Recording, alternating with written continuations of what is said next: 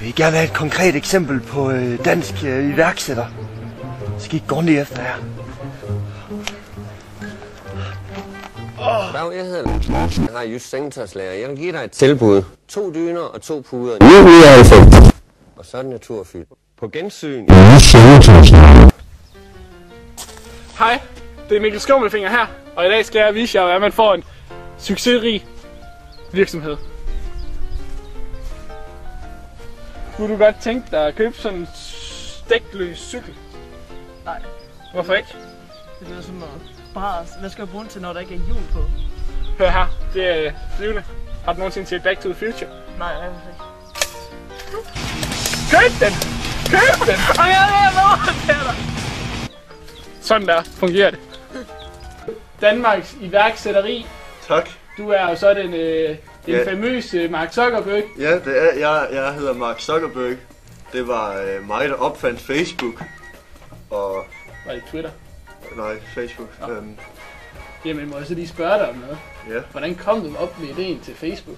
Jamen, det, det er et rigtig godt spørgsmål. Jeg sad der og tænkte, øh, fordi det, det iværksættere gør, de tænker at få gode idéer. Så jeg fik den her gode idé om at lave det her sociale medie, hvor man kan stalke hinanden og synes godt om billeder af, af piger og sådan noget, ikke? Er godt. Ja, ja. Øhm, og altså, jeg tænker, når det er, du skal lave dit eget øh, virksomhed eller firma eller sådan noget, det sige lidt ligesom jeg gjorde, så er det vigtigt, at du går fuldt ind i det med, med lækkert hår, eventuelt et skæg. Gode iværksættere har et flot skæg. Øhm, vigtigt at gå fuldt ind i det, altså 100% sælge din mor, sælge din far, ligesom jeg gjorde. Øhm, sælge dine organer bagefter. Og øh, ja, så, øh, så skal I huske godt vind i sejlet og ikke noget held. Tak for svaret. Det, var var, så alt lidt. for i aften. Øh, så er der Husk Disney Show. økonomien også. Så er der Disney Show. Hej og velkommen tilbage til iværksætteri med Mikkel Skummelfinger. I dag skal jeg vise jer, hvordan I investerer godt i jeres virksomhed. Følg med. Goddag, her bankrådgiver. Goddag.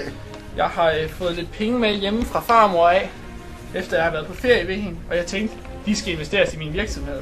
Nå, Så øh, her har du 150 danske dollars. Jeg tænkte, om jeg ikke måske kunne få sådan en firmabil, 15 ansatte og to toiletter. Og lidt plads til dem selvfølgelig. Du kan fandme blive dolket, kan du, med de der penge der. Nej, nej, nej tak. Jeg tager han med for dig, sød. ja, hvordan går det egentlig med din øh, virksomhed, Børge? Oh, jo tak, øh, Karl Johan. Det går rigtig godt, Karl Johan.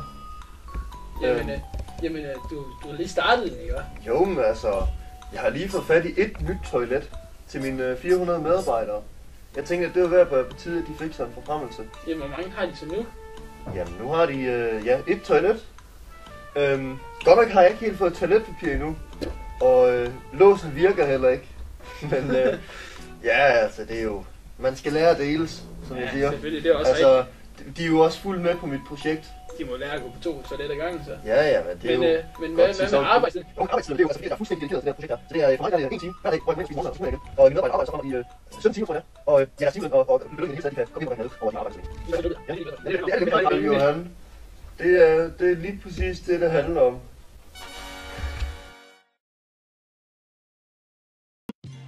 Prøv at se her, hvad der er sket. Seriøst.